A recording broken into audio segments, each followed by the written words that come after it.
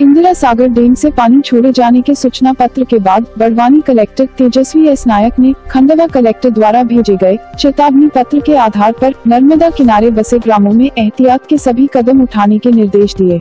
साथ ही डूब क्षेत्र में प्रारंभ बसाहत कार्यालय में तैनात कर्मियों को भी आदेशित किया कि वे डूब क्षेत्र के रहवासियों को नर्मदा के बढ़ने वाले जल स्तर की जानकारी सतत उपलब्ध कराए। जिससे वे समय रहते दूर क्षेत्र को खाली कर अन्यत्र रहने की व्यवस्था कर सके।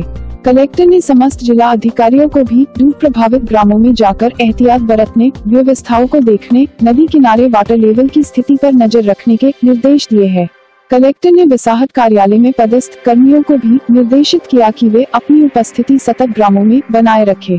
वे लोगों को बताए कि नर्मदा का जल स्तर धीरे धीरे सतत बढ़ रहा है।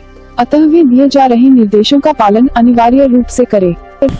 पानी के रिलीज़ के बारे में फैक्स प्राप्त हुआ है।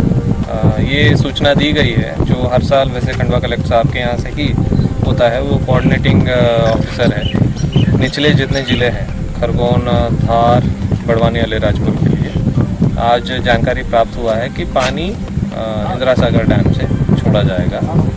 और हमें इस संबंध में आवश्यक सतर्कता रखने के लिए और तैयारी रखने के लिए सूचित किया गया बड़वानी से अजय यादव की रिपोर्ट।